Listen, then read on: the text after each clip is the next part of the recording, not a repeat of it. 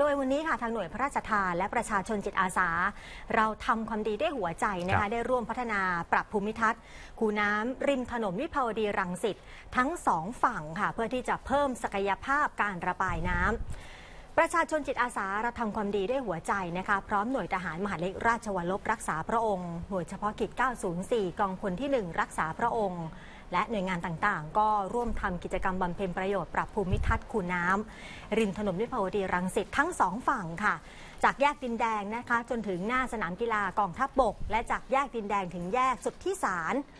รวมระยะทางนะคะ1,700 เมตรด้วยกัน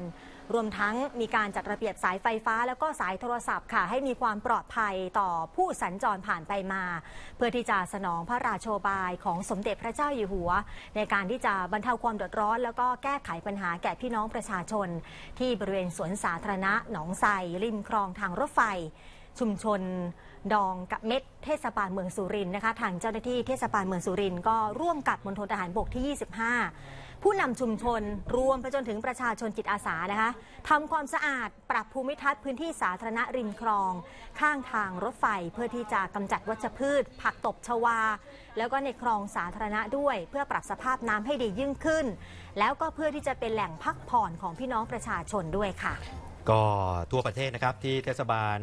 เมืองเชียงใหม่ ประชาชนก็ร่วมกันทำความสะอาด และมีการปรับภูมิทัศน์บริเวณลาน พระเจ้าเมงลายนะครับอำเภอเมืองเชียงใหม่ มีการตัดแต่งกิ่งไม้ เก็บขยะมูลฝอย แล้วก็มีการนำรถแบ็คโฮครับมาช่วยปรับพื้นที่บริเวณที่มีป่ารก เพื่อเตรียมสถานที่นะครับในการต้อนรับช่วงเทศกาลสำคัญก็คือเดือนเมษายนนี่นะครับปีใหม่เมือง หรือว่าเทศกาลสงกรานต์ของพี่น้องชาวภาคเหนือนะครับ